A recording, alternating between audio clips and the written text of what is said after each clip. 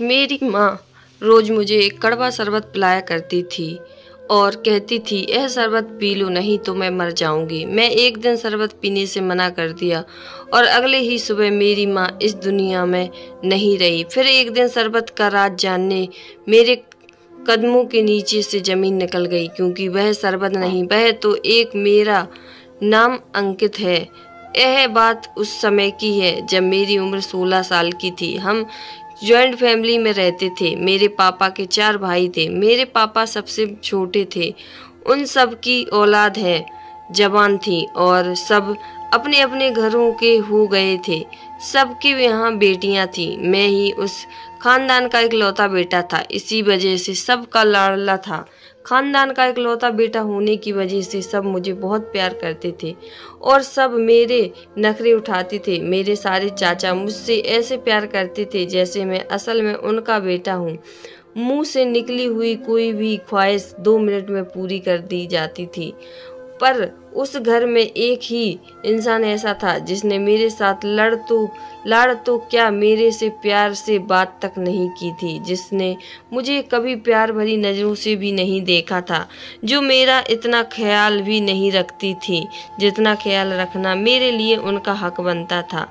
उसने कभी मेरी हिम्मत तक नहीं बढ़ाई, कभी मुझे यह नहीं कहा कि मैं उनके लिए प्यार बेटा हूँ और वह थी मेरी माँ मेरी सात सौतेले बेटे जैसा शुरू शुरू करती थी। पढ़ाई में अच्छा था। हर बार फ़र्स्ट आता था, फिर भी वह मेरी तारीफ़ नहीं करती थी। कोई भी अच्छा काम करता तो भी वह मुझसे गुस्से ही होती थी। मेरे पापा भी अक्सर उनको समझाते थे कि ऐसा क्यों करती हो? तुम सब रिश्तेदार भी कहते थे, इस औरत को अपने बेटे की कदर नहीं है। एक दिन मेरी माँ ने तंग आकर सबके सामने कह दिया कि हाँ मैं एक बेटे की माँ हूँ तो क्या करूँ? इनमें से कौन सी बड़ी बात है? तुम लोगों के घर सिर्फ़ बेटियाँ हैं, इसलिए तुम्हारे लिए बात बड़ी होगी। मेरे लिए कोई बड़ी बात नहीं है। तुम लोगों को इतना एहसान है तो तुम कर लिया करो, इसकी फ़िक्र उठाओ, इसकी नखरे, लेकिन मुझसे मेरे हाल पर छोड़ दो। मैं आज तक अपनी माँ से कोई बदतमीजी नहीं की थी। इसके हुक्म के खिलाफ जाकर कोई काम नहीं किया था। फिर भी उनका रवैया मेरे साथ ऐसा क्यों था? मेरी वह बात बिल्कुल भी समझ नहीं आती थी। मुझे यह भी पता चला कि एक बार मेरे पापा ने मेरी माँ से ज़बरदस्ती तलाक भी ले ली थी, लेकिन फिर उन्होंने दोबारा शादी की थी। माँ ने मुझे इस बात की वजह भी नहीं बताई, वह मुझे अपने दुख नहीं बताती थी। पर मेरी तो माँ थी, मैं फिर उनसे मोहब्बत करता था। एक चाची का रवैया भी सबके साथ बहुत ज़्यादा बुरा था, लेकिन वह तो सबके साथ ही ऐसी थी, और हम जानते थे कि वह है ही ऐसी। लेकिन मेरी माँ कर्जनों के साथ अच्छे से पेश आती थी, लेकिन मुझसे प्यार नहीं करती थी। मैं उनकी मोहब्बत के लिए तरसता रहता था। उनके अलावा हर रात मेरी माँ मुझे एक जहर जैसा कड़वा शरबत पिलाती थी। यह काम वह मेरे बचपन से ही कर रही थी। उन्होंने एक दिन भी गैप नहीं किया। पहले मैं छोटा था, उनकी बात मान लेता था, पर मुझे उनका यह रवैया बिल्कुल भी समझ नहीं आता था। आखिर वह मुझको यह शरबत क्यों पिलाती थी?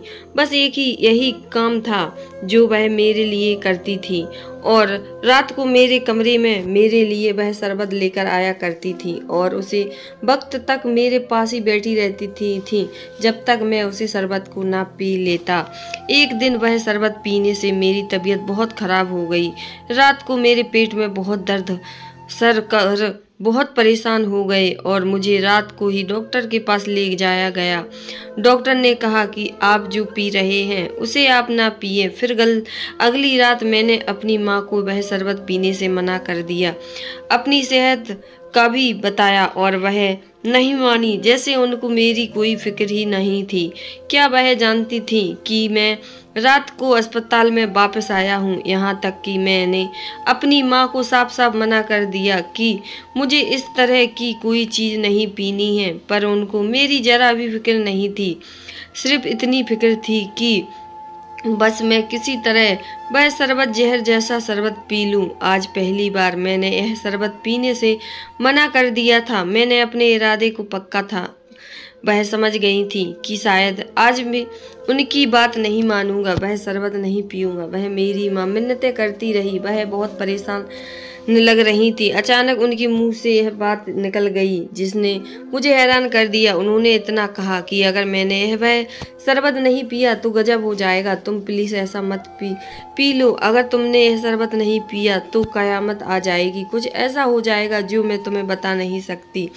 बस तुम मेरी बात मान लो, पर मैं नहीं माना। वह रोते हुए मेरे कमरे से चली गई। आज मुझे उनके रोने की कोई परवाह ना हुई, बल्कि मैं तो यह सोच रहा था कि उनको अपनी जिद बदलनी होगी। फिर मैं सुकून से सो गया और सुबह एक बुरी खबर के साथ मेरी आँख खुली। वह बुरी खबर सुनकर मेरे पैरों के नीचे से ज़मीन निकल गई। वह बुरी खबर थी कि मेरी माँ अब इस दुनिया में नहीं रही। वह रात को ठीक ठाक सी और सुबह पता चला कि रात को किसी पहर की उनकी मौत हो गई। उनकी मौत की वजह समझ में नहीं आई। ना तो उनको कोई बीमारी थी और ना उनके साथ कोई हादसा हुआ था। आखिर ऐसा कैसे हो सकता है? मेरे दिमाग में सवाल तो बहुत है, पर सवालों से ज़्यादा गम था। मेरी माँ ने कहा था कि शरबत पी ले नहीं तो कुछ हो जाएगा। क्या मेरी माँ का इशारा इस तरफ़ था और शरबत पीने से मेरी माँ की ज़िंदगी पर क्या असर हो सकता था? यह बात मेरी समझ से नहीं बाहर थी लेकिन मैं खुद को मजबूर महसूस कर रहा था। क्या मैं अपनी माँ की मौत बज, बजे बना अगर मैं वह शरबत पी लेता तो आज मेरी माँ ज़िंदा होती। सवाल और सदमा मिलकर मेरी जान ले रहे थे। मैं एक दिमागी मरीज़ की तरह बन गया था और मैं बहुत रोया। मेरे यह सदमा बहुत बड़ा था। घर में सुख का माहौल था। पापा भी आदमी में थे। ना कुछ दिन बाद मैं अपने दोस्त के घर चला गया। वह भी मुझे तसल्ली दे रहा था और वहाँ से आने से लेट हो गया। वह पहली बार था कि मैं अपनी माँ की मौत के बाद घर से निकला था। आसमान पर चाँद था। उसकी चांदनी सितारों की टिमटमाती रोशनी से माहौल को कुछ गवाह बनाया हुआ था। रात के सन्नाटे में अकेले यात्रा कर यह मेरा चांस था। जब मैं मेरी माँ इस दुनिया से गई थी। मैंने वह शरबत नहीं पिया था। तब से ही मेरे सर में बहुत दर्द रहने लगा। ऐसा दर्द जिसको मैं नज़रअंदाज नहीं कर सकता। मैं एक डॉक्टर के पास गया तो उसने कहा कि शायद टेंशन और आदमी की वजह से इसके सर में दर्द है। वह जानता था कि असल वजह क्या है। यह दर्द तो मेरी जान ही नहीं छोड़ रहा था। हालात भी कुछ अजीब हो गए थे। मेरी एक करजन सीढ़ियों से गिर गई और उसका सर फट गया, बिस्तर पर पड़ी थी कि दूसरे करजन भी बहुत ज़्यादा बीमार हो गई। मेरी एक चाची किचन में काम कर रही थी और उनके पैरों पर गर्म दूध गिर गया और उधर मेरे चाचा ने सिर्फ़ मुझे बताया कि कारोबार में बहुत बड़ा नुकसान हो गया है। अब कारोबार में बहुत ही मुश्किल आ रही है और मेरे पापा तो तभी बीमार थे जब से मेरी माँ इस दुनिया से गई थी। वह तो बिस्तर से ही लड़े पड़े थे और मुझे समझ नहीं आ रहा था कि आखिर सब हो क्या रहा है। मेरे सर का दर्द भी ना जा रहा था। मैं दवाइयाँ खाकर पागल सा हो चुका था। चाचा ने कारोबार में नुकसान की बात मेरे पापा को ना बताई और मुझे भी कहा कि यह बात घर में ना बताना, नहीं तो सब और भी परेशान हो जाएँगे। सब कह रहे थे कि जब से मेरी माँ है, इस दुनिया से घर हालत भी खराब हो गए।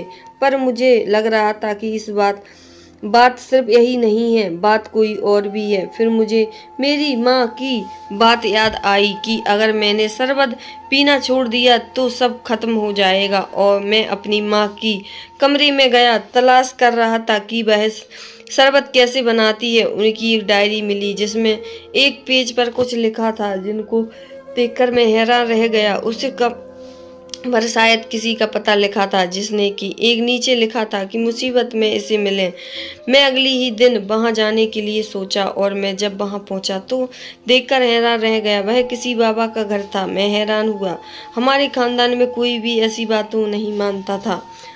और आपने नंबर पर इंतज़ार करने लगा। हाँ बेटी, कुछ लोगों से उसे बाबा के बारे में पूछा तो लोगों ने कहा ए पहुँचे हुए बाबा हैं। मैंने कहा, आपकी यह बाबा आपसे कितने पैसे लेते हैं? वह कम से कम हज़ार रुपये तो ले ही लेते होंगे। वह कहने लगे कि यह एक रुपया भी नहीं लेते। मैंने कहा अच्छा जो मर्ज़ी से दे जाओ, क्या वह रख लेते हैं? उसने कहा, नहीं, यहाँ ऐसा कोई रिवाज नहीं है। अगर फिर भी कोई जिद करे तो वह कुछ देना चाहता है। तो बाबा उसे कहते हैं कि वह गरीबों में कोई चीज़ बांट दे, उसका फल तुम्हें मिल जाएगा। लेकिन बाबा किसी से कुछ नहीं लेते। यह बात सुनकर मैं हैरान हो गया, लेकिन फिर भी मेरा ऐसी चीज़ों पर भरोसा नहीं था। जब मैं बाबा के कमरे में दाखिल हुआ तो वह मुझे देखकर चौंक गए। उनके चौंकाने का तरीका ऐसा था कि मैं भी हैरान हो गया। आखिर है क्या? सोचकर इस तरह से हैरान हो रहे हैं।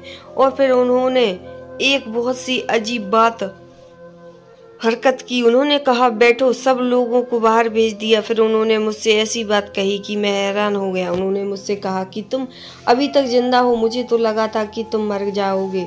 आखिर उनकी इस बात का क्या मतलब था? मैं तो उनको पहली बार देख रहा था और मुझे क्यों मर जाना चाहिए था? मैं उनके सामने बैठा और उनसे पूछा, आप क्या आप मुझे जानते हैं? मैं तो ज़िंदगी में आपको पहली बार देख रहा हूँ। फिर आपने मुझे देखते ही ऐसी बात क्यों की?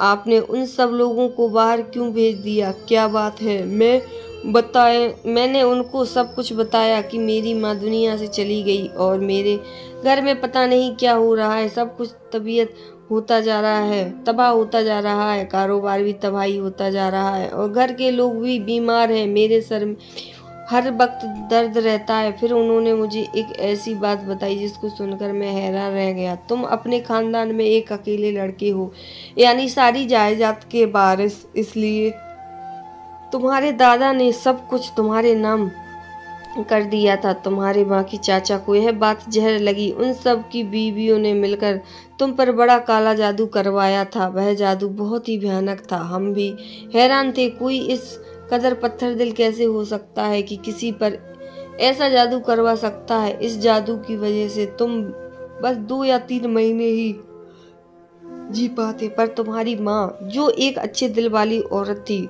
उसको सब कुछ पता चल गया था। उसने तुम्हारे पापा को बताया तो उनमें से उन्होंने माना नहीं। तुम्हारे पापा ने गुस्से से आकर तुम्हारी माँ को तलाक दे दी थी। फिर तुम्हारे पापा को अपनी गलती का एहसास हुआ तो उन्होंने माँ से दोबारा शादी कर ली। एक दिन तुम्हारी माँ तुम्हारे पापा को लेकर मेरे पास आई। मैंने उनको सब कुछ बताया, लेकिन फिर उन्हें भी विश्वास नहीं हुआ और फिर तुम्हारी माँ ने मुझे कोई हाल निकाल निकालने को पूछा। तब मैं तुम्हारी माँ को जानता हूँ। मुझे तुम्हारी माँ की बातें है किन था। मैंने उसे जादू का तोड़ तो दिया, पर वह जादू बहुत ताकतवर था। यह जादू सिर्फ़ तुम पर ही तक ही असर कर सकता था। जब तक तुम उन्नीस साल के नहीं हो जाते, लेकिन तब तक तुम्हें यह रोज मंत्र वाली जड़ी बूटी वाला शरबत पीना था, यह जड़ी बूटी वह मुझसे ही ले जाती थी और तुमने यह नहीं पिया, सबसे पहले उसे जादू का असर तुम्हारी माँ पर हुआ, क्योंकि वही थी जिसकी वजह से जादू रुका हुआ था। फिर तुम पर भी उसका धीरे धीरे असर होने लगा। मेहनत होकर पूछा कि अगर यह जादू मुझ पर मेरी चाची ने करवाया तो फिर उन पर भी मुसीबत क्यों आ रही है? क्योंकि वह यह जादू ख़त्म होने वाला है, इसलिए उन लोगों पर भी इसका असर हो रहा है।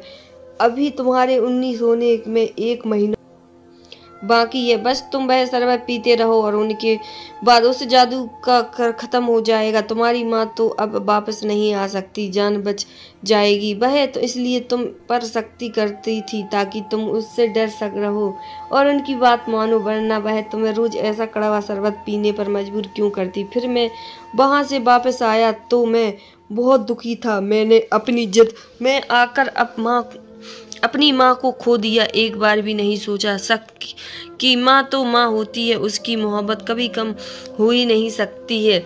मैं अपने पापा को यह बात पापा अभी भी बात मानने से तैयार नहीं थे। उनका खानदान ऐसा कर सकता है। उनका कहना था कि, तुम्हें इतनी मोहब्बत मैंने नहीं की, जितनी मोहब्बत मेरे भाइयों, उनकी पत्नियों ने की है, और मेरा उनके लिए बस यही जवाब था कि उनकी मोहब्बत के पीछे असल में उनका एक मकसद छुपा था। आपने मेरी माँ की बात ना मानी यह तक कि उनको एक दफ़ा तलाक भी दे डाली। सिर्फ़ अपने खानदार वालों के लिए आप क्यों नहीं समझ रहे हैं? मेरी बात को मेरी माँ सच कह रही थी। मैंने भी उन सारी चीज़ों को महसूस किया है। मैं कोई छोटा बच्चा नहीं हूँ। मेरे पापा ने मेरी कोई बात ना मानी। मैंने अपनी माँ की वह डायरी अपने पास रख ली और उनमें यह भी लिखा था कि तुम्हारे पापा हैं। बात भी नहीं मानी, क्योंकि वह अभी भी इस जादू के असर में है।